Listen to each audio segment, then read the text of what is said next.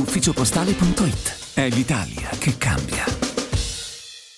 Matteo Salvini da Ascoli lancia la volata finale ai candidati marchigiani della Lega in vista delle elezioni politiche del 25 settembre prossimo. Il leader del Carroccio, dal palco sistemato al chiostro di San Francesco, ha infiammato i tanti sostenitori presenti, ribadendo quelli che sono i punti fondamentali del suo programma. Sicurezza e difesa dei confini nazionali dall'immigrazione clandestina, abolizione della legge Fornero, flat tax e soprattutto aiuti alle famiglie e alle imprese costrette a fare i conti in questi ultimi mesi con l'aumento esponenziale delle bollette una grave situazione che rischia di ripercuotersi anche sui posti di lavoro. Non vedo l'ora che arrivi questo 25 settembre perché secondo me per la Lega e per il centrodestra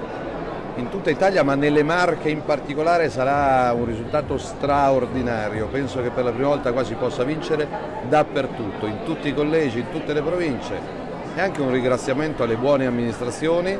sia comunali che regionali della Lega del centrodestra. Qua c'è gente che non si è mai fermata noi abbiamo come Lega candidato anche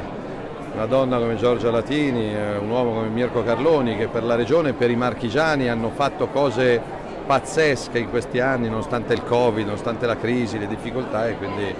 penso che raccoglieremo molto bene perché abbiamo seminato molto bene.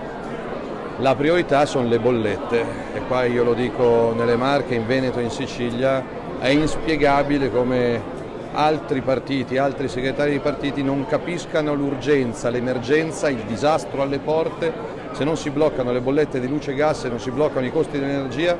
qua rischia di essere una strage di posti di lavoro e quindi come Lega continuiamo a insistere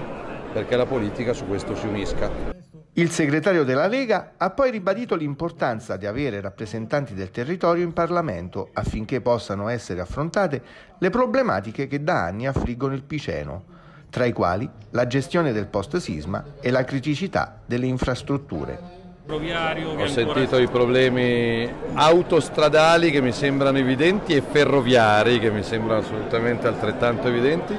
i problemi anche della ricostruzione, perché ne parlavo adesso dietro il palco con alcuni sindaci, la chiusura di alcune scuole o di alcuni uffici postali o di alcuni negozi che in un comune normale possono essere sopportate